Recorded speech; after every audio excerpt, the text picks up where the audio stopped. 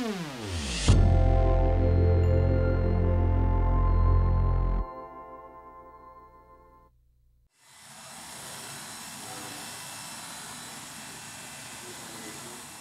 here because, for one reason or another, they, they chose the wrong path in life, and this is where they ended up.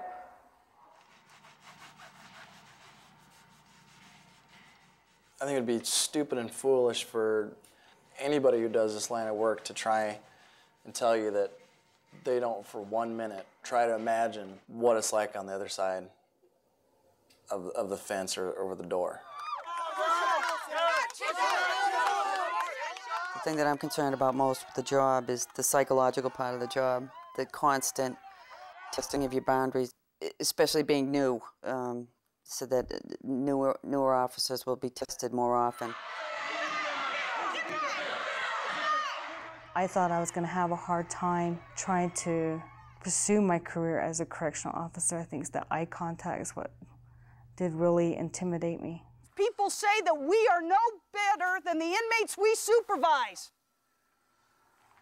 And I'm here to tell you that's not the case.